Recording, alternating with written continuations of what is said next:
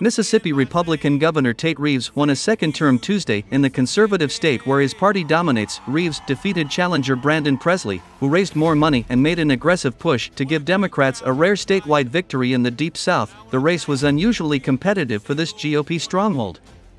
But Reeves prevailed with a message focused on job creation, low unemployment, and improvements in education. He also cast Presley as a liberal backed by out of state donors who were out of step with Mississippi. Presley, a state utility regulator and second cousin of Elvis Presley, said Reeves had hurt the state by refusing to expand Medicaid to cover people working lower wage jobs that do not provide health insurance. I just want to begin by saying thank you, Mississippi.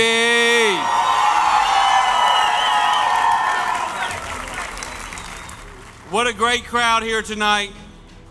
And I want to thank every single one of you. And I got to tell you, this victory sure is sweet.